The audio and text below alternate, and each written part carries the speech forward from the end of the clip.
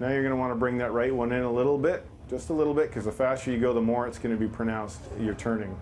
If it looks like I'm concentrating hard, that's because I am. Navigating a 440 ton tugboat through Vancouver Harbour is no easy task, and that's exactly what this state of the art simulator is here to teach you.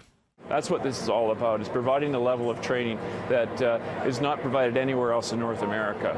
And it's all about protecting our environment, protecting our coast, and making this port the safest port.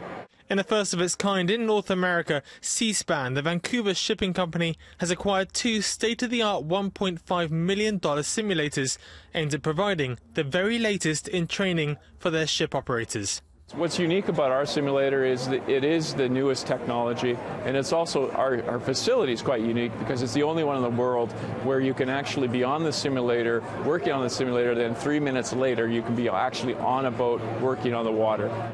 The two simulators feature 17 computers and 12 displays with floor to ceiling 360 degree views, providing an immersive experience.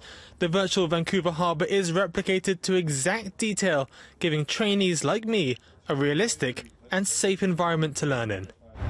How long does it take to master this? So two weeks of uh, simulation like this, we do all manner of exercises, master 25 different scenarios and maneuvers, and at the end of that we do six days or seven days of live trials on board the actual vessel with the same characteristics, but you're going to do it in real life. And eventually you'll master the skill sets that you uh, did in the simulation.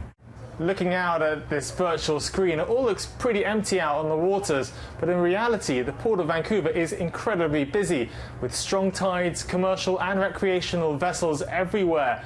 It demands a lot of skill and precision to navigate it. So far, Seaspan has never had a major accident involving a spilled load.